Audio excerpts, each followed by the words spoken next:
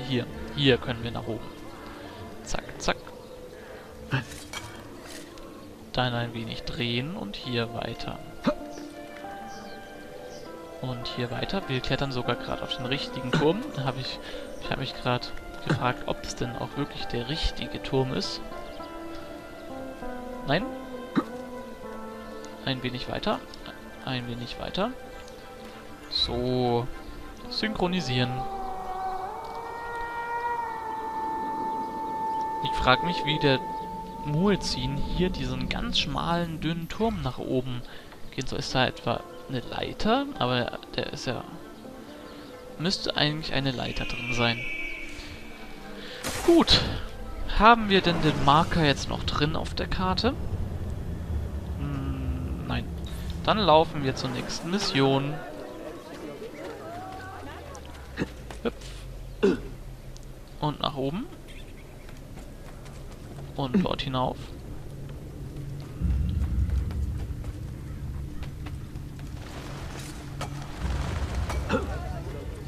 Dort hoch. Nicht so hoch, sondern so hoch. Und dort auch hinauf. Und jetzt kurz gucken.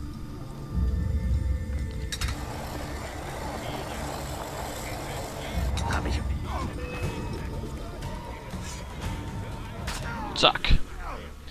Da war das neue Fleischermesser auch gleich im Einsatz. Gut, dann klettern wir hier runter, dort runter, da runter und die runter. Und schau an, wer da ist. Ein Herold ist da, den wir bestechen.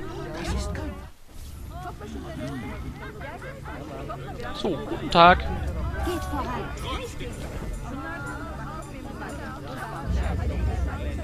Ach so, haha, falsch. Falsch. Ich hab die Fa... Hä? Ach, da oben. Haha.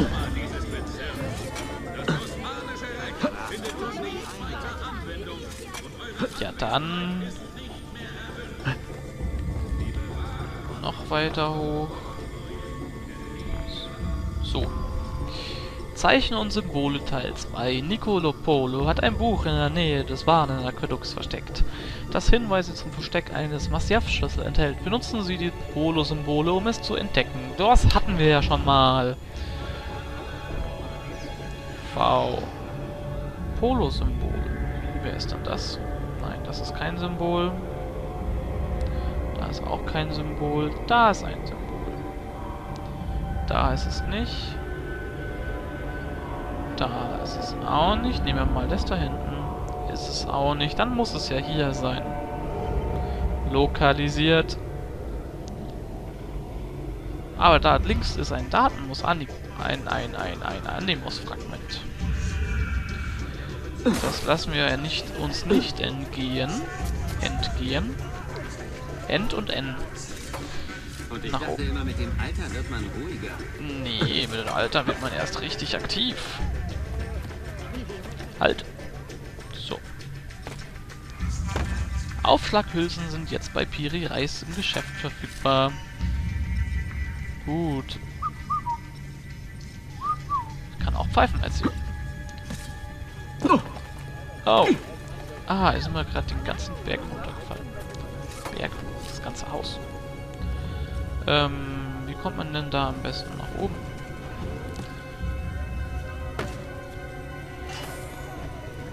Was habe ich den gerade bestohlen? Du entwischst mir nicht! Wache! Ja, und nach der Wache brüllen. Jawohl.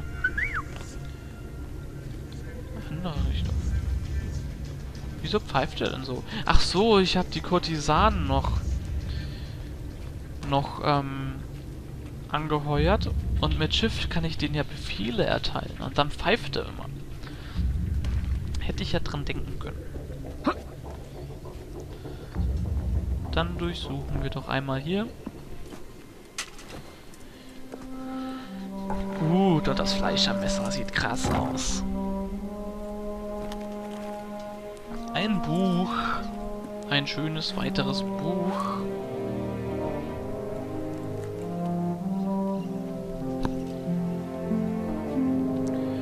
So. Und ich glaube, es wird langsam Zeit für eine Aufnahmepause. Das Mädchen mit der Flöte. Gut. Forum Bovis freigeschalten. Bedeutet? Weiß ich nicht. Gut, dann würde ich sagen, an dieser Stelle mache ich eine Aufnahmepause. Wir sehen uns dann in der nächsten Aufnahme. Ich danke fürs Zusehen und verabschiede mich von hier. Tschüss. Hallo und herzlich willkommen zu dieser, ja, ich würde mal sagen, ähm, neuen Aufnahme. Ja, ist ja eigentlich eine neue Aufnahme. Ich habe ja gerade Tschüss gesagt und ich habe jetzt hier Leider muss ich hier jetzt alles nachsynchronisieren. Ihr hört mich jetzt über mein Headset, ganz normal. Ich bin hier gerade im Camtasia Studios und synchronisiere das hier nach, weil mir ist, ich habe einen Oh, jetzt, jetzt erkläre ich schnell, sonst ist es weg. Ich suche hier jetzt, habe ich mir vorgenommen, dass wir in dieser Aufnahme das versteckte, die versteckte Gruft machen und die restlichen beiden Assassin, äh, Templerfesten einnehmen. Hier ist die versteckte Gruft und die beiden Assassinenfestungen, die wir noch über haben. Einmal die hier und links oben ist noch eine. Und ich wollte jetzt mal zur versteckten Gruft gehen, ohne mir einen GPS-Point zu setzen. Und mache mich jetzt halt auf den Weg, aber ich wollte ja noch schnell fertig erklären, warum ich jetzt halt hier nachsynchronisiere. Ich synchronisiere hier nach, weil, ja, mir ist bei, oder sagen wir so, mein PC hat einen, jetzt gucke ich nochmal schnell nach, ob ich auf dem richtigen Weg bin. Mein PC hat ein, ein Driver-Update für meine Soundkarte gemacht, die in meinem Motherboard implantiert ist. Und hat ähm, dann bei Fraps alles umgestellt, von wegen hier ähm, Audioaufnahme über meinen über, nicht mehr über Mikrofon, also über mein, mein Headset-Eingang, sondern über, über mein Tascam über mein Tascam Interface, wo auch ein Mikrofon angeschlossen ist, was aber zurzeit nicht benutzt wird. Und deswegen hat er nicht halt keine Audiosprache aufgenommen. Und hier rutschen wir und töten wir den einfach so mal zack und rauben ihn raus. Und dann werden wir uns diese Holzwand hochbegeben. Und deshalb ist es so, dass ich mir dieses hier schon zum dritten Mal angucke, jawohl. Oder sagen wir zum vierten Mal, einmal beim Spielen. Und jetzt gerade noch zum zweimal Versuch zu synchronisieren. Und jetzt zum dritten Versuch beim Synchronisieren hoffe ich, dass es jetzt klappt. Ich habe die ersten Male immer mit meinem mit meinem besagten Mikrofon, was an meinem Interface angeschlossen war. Bei der ersten war es völlig übersteuert von der Lautstärke her. Bei der zweiten Aufnahme war alles irgendwie nur auf dem linken, äh, auf dem rechten Kanal. Und ich hoffe jetzt halt hier, dass es mit meinem... Ich habe jetzt, bin jetzt aufs Headset umgestiegen. Ich hoffe, dass es jetzt alles funktioniert. Sonst kriegt ihr das auf dem linken Kanal, äh, auf dem rechten Kanal, die Aufnahme einfach. Schauen wir da mal. Aber ich hoffe, dass es funktioniert. Und wir laufen jetzt hier durch die Gegend. Und nochmal kurz gucken, ob ich richtig bin. Das sieht doch schon mal sehr gut aus, nur viel zu weit nördlich. Das heißt, wir laufen jetzt nach Süden. Und auf geht's, weiter geht's. Durch die Menschenmenge, ganz Assassinen untypisch, laufen wir ja auffällig durch die Gegend. Nicht mehr über die Dächer, sondern durch die Straßen. Wollte hier die Wand hochklettern, hab's mir anders überlegt, weil es hier nach oben geht. Ganz einfach, die Wand hoch.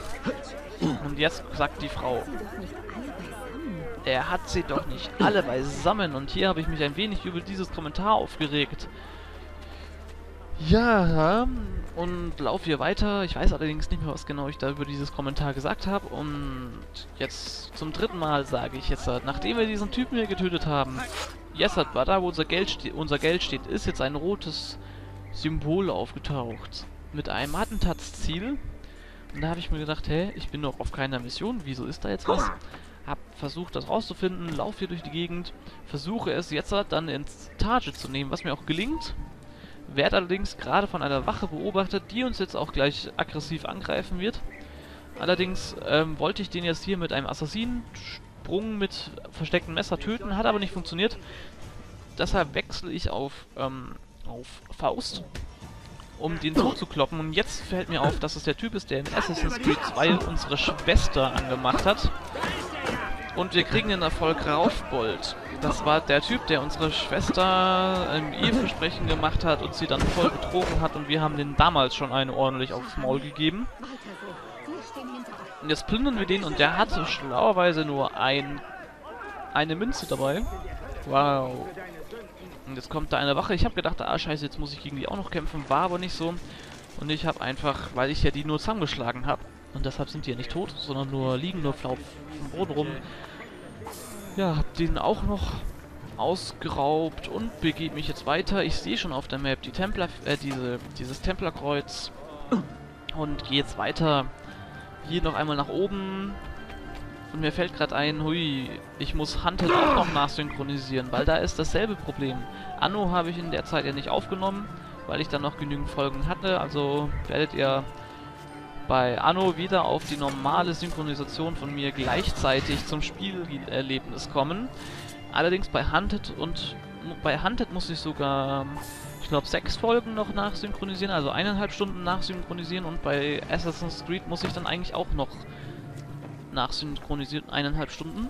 Und ich hoffe, dass ich, werde es jetzt wahrscheinlich so machen, ich werde die Folge ähm, rendern jetzt, mehrere Folgen rendern und dann nachsynchronisieren, um die dann um alle hochzuladen, damit ihr dann ich versuche ich versuche es jetzt so zu noch irgendwie hinzubekommen, dass ihr jetzt eu, jeden Tag euer, eure Folge bekommt. Und hier ist mir auch was Lustiges passiert. Wollte ich als erstes den hinteren töten, ist mir dann aufgefallen, ja vielleicht sieht uns dann der vordere, weil der da, die ja versetzt stehen, habe ich mich jetzt für den entschieden, habe den umgebracht. Und jetzt müsst ihr kurz aufpassen, was mir passiert. Achtung, jetzt hat, pum, habe ich mir gedacht, what the fuck, was war das? Hab's mir dann ein wenig zusammengereimt, während ich dann vor der Wache geflogen, Wache, vor der Wache geflohen bin. Anscheinend wollte Ezio den Typen mit einem Assassinensprung töten, hat allerdings sich dann an dem, an dem Holz festgehalten und ist dann doch runtergekracht. Und dabei hat es den Typen einfach runtergehauen. Jetzt sehe ich hier noch ein Daten-Animus-Fragment, was wir uns auch gleich holen. Ich habe vorhin auch eins gesehen, was ich mir dann irgendwann mal holen werde, wenn wir dann nochmal vorbeikommen. Ich wollte mich da eigentlich oben an den Stein festhalten und hier habe ich mich dann über die Bergziege, die er uns gerade genannt hat, habe ich mich aufgeregt und jetzt habe ich dann noch gesagt, ui, hier sieht ja alles ganz schön kaputt aus. Aber der Eingang zur Gruft ist ziemlich neu. Gut, jetzt muss ich dann schauen. Ich habe bei den ersten Aufnahmen, ersten Nachsynchronisation, äh, nach der ersten Nachsynchronisation habe ich den Schluss verkackt. Ich habe viel zu lange geredet. Wir haben noch 45 Sekunden. Eigentlich, ja, jetzt hat 44 Sekunden. Und dann sage ich hier Danke fürs Zusehen. Wir sehen uns dann in der nächsten Folge, die ich jetzt halt auch noch nicht synchronisieren werde. Nach diesen schicken mechanischen Revolutionen hier in der damaligen Zeit und nach diesem wunderbaren Ladescreen sehen wir noch einen kurzen Blick auf die versteckte Gruft und dann werde ich auch schon Ciao sagen müssen, genau in 15 Sekunden. Du, du, du. Wir klettern hier noch raus, sehen hier die schönen Folterkäfige, die runterhängen und Anfang von der Missionsbeschreibung, die ich euch in der nächsten Folge vorlese und wir sehen uns dann dort. Ciao!